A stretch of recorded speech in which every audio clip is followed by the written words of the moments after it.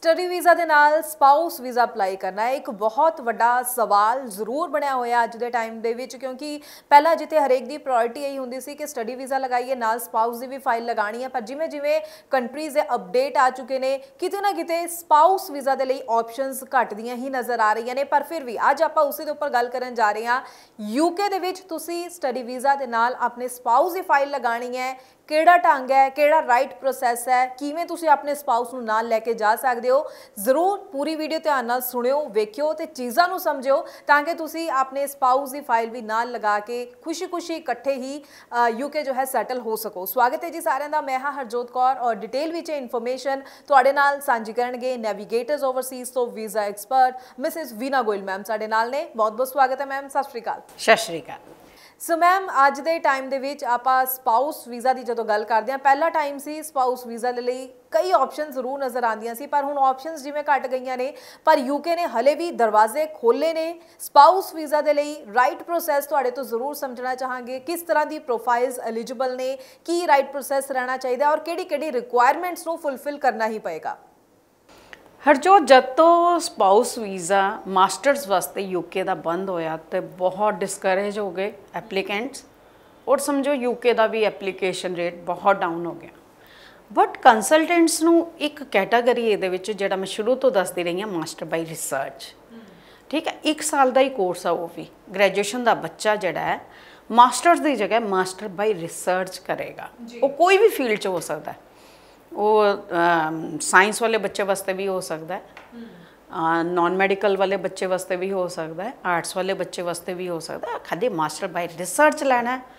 IELTS ਕੀਤੀ ਜਾਂ ਨਹੀਂ ਕੀਤੀ ਡਸਨਟ ਮੈਟਰ ਐਮਓਆਈ ਤੇ ਮੀਡੀਅਮ ਆਫ ਇਨਸਟਰਕਸ਼ਨ ਇੰਗਲਿਸ਼ ਤੇ ਵਿਦ ਸਪਾਊਸ ਤੁਸੀਂ ਸੇਮ ਫਲਾਈਟ 'ਚ ਤੁਸੀਂ ਜਾ ਸਕਦੇ ਹੋ।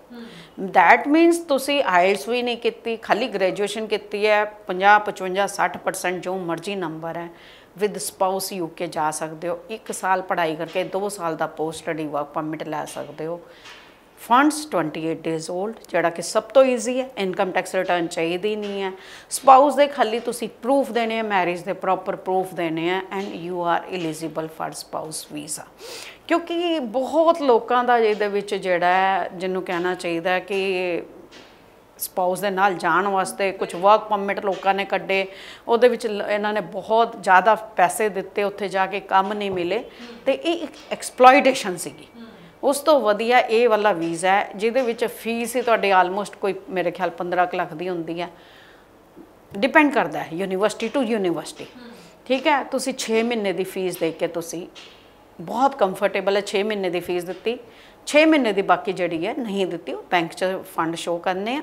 ਔਰ ਤੁਸੀਂ 1 ਇਅਰ ਦੇ ਲਿਵਿੰਗ ਐਕਸਪੈਂਸਸ ਸ਼ੋ ਕਰਨੇ ਆ ਮੇਨ ਐਪਲੀਕੈਂਟ ਦੇ ਔਰ ਸਪਾਊਸ ਦੇ and you are eligible for the spouse visa 15 days ਦੇ ਅੰਦਰ ਵੀਜ਼ਾ ਆ ਜਾਂਦਾ। ਸਭ ਤੋਂ ਈਜ਼ੀ ਵੀਜ਼ਾ ਯੂਕੇ ਦਾ ਇਸ ਟਾਈਮ ਔਰ ਸੈਪਟੰਬਰ ਦੇ ਬਾਅਦ ਉਮੀਦ ਹੈ ਕਿ ਸ਼ਾਇਦ ਇਹ ਪੋਸਟ ਸਟੱਡੀ ਵਰਕ ਪਰਮਿਟ ਬੰਦ ਕਰਨਗੇ। ਇਸ ਕਰਕੇ ਇਹ ਬਿਲਕੁਲ ਲਾਸਟ ਟਾਈਮ ਚੱਲ ਰਿਹਾ। ਜਿਹੜੇ ਬੱਚੇ ਯੂਕੇ ਜਾਣ ਦੇ ਚਾਹਵਾਨ ਹੈ ਉਹ ਅਪਲਾਈ ਕਰ ਸਕਦੇ ਆ। ਵਿਦ ਸਪਾਊਸ ਅਪਲਾਈ ਕਰਨਾ ਚਾਹੁੰਦੇ ਮਾਸਟਰ ਬਾਈ ਰਿਸਰਚ ਜਾਂ ਜਿਹੜੇ ਪਲੱਸ 2 ਵਾਲੇ ਸਟੂਡੈਂਟ ਹੈ ਵਿਦਆਊਟ ਆਇਲਸ ਅਪਲਾਈ ਕਰਨਾ ਚਾਹੁੰਦੇ, ਉਹ ਵੀ ਕੁਝ ਯੂਨੀਵਰਸਿਟੀਆਂ ਵਿਦਆਊਟ ਆਇਲਸ ਵੀ ਸਟੂਡੈਂਟਸ ਨੂੰ ਦੇ ਰਹੀਆਂ, ਉਹ ਵੀ ਅਪਲਾਈ ਕਰ ਸਕਦੇ। ਨੋ ਇੰਟਰਵਿਊ ਨੋ ਆਇਲਸ ਉਹ ਵੀ ਸਟੂਡੈਂਟ ਅਪਲਾਈ ਕਰ ਸਕਦੇ।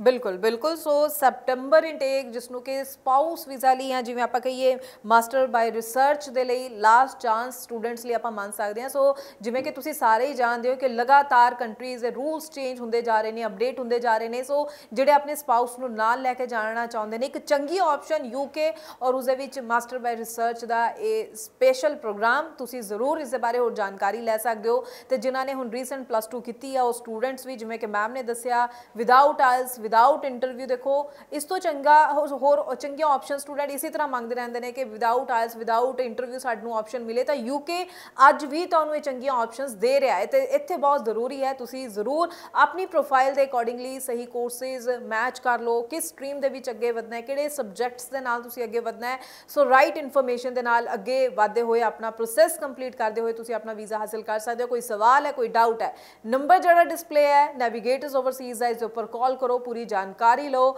ਇੱਕ ਇੱਕ ਚੀਜ਼ ਨੂੰ ਸਮਝਦੇ ਹੋਏ ਔਰ ਜੇਕਰ ਆਪਾਂ ਗੱਲ ਕਰੀਏ ਨੈਵੀਗੇਟਰਸ ਓਵਰਸੀਜ਼ ਔਰ ਵੀਨਾ ਗੁਲ ਮੈਮ ਦੀ ਗੱਲ ਕਰੀਏ, ਪਿਛਲੇ 27 28 ਸਾਲਾਂ ਤੋਂ ਸਟੂਡੈਂਟਸ ਨੂੰ ਗਾਈਡ ਕਰਦੇ ਆ ਰਹੇ ਨੇ। ਕਈ ਤਰ੍ਹਾਂ ਦੇ ਪ੍ਰੋਗਰਾਮਸ ਇਹਨਾਂ ਕੋਲ ਅਵੇਲੇਬਲ ਨੇ, ਅਲੱਗ-ਅਲੱਗ ਤਰ੍ਹਾਂ ਦੀ ਪ੍ਰੋਫਾਈਲਸ ਦੇ ਲਈ। ਸੋ ਤੁਸੀਂ ਵੀ ਰਾਈਟ ਗਾਈਡੈਂਸ ਦੇ ਨਾਲ ਅੱਗੇ ਵਧੋ ਔਰ ਆਪਣੇ ਫਿਊਚਰ ਨੂੰ ਬ੍ਰਾਈਟ ਕਰ ਸਕਦੇ ਹੋ। ਬਹੁਤ ਬਹੁਤ ਥੈਂਕਸ ਮੈਮ ਇਹ ਪੂਰੀ ਇਨਫੋਰਮੇਸ਼ਨ ਸਟੂਡੈਂਟਸ ਨਾਲ ਸਾਂਝੀ ਕਰਨ ਦੇ ਲਈ। ਅੱਗੋਂ ਵੀ ਸਟੂਡੈਂਟਸ ਲਈ ਅਸੀਂ ਇਸੇ ਤਰ੍ਹਾਂ ਨਾਲ ਹੋਰ ਇਨਫੋਰਮੇਟਿਵ ਵੀਡੀਓਜ਼ ਲੈ ਕੇ ਆਉਂਦੇ ਰਵਾਂਗੇ। ਫਿਲਹਾਲ ਹੀ ਦਿਓ ਜੀ ਇਜਾਜ਼ਤ। Thank you so much thank you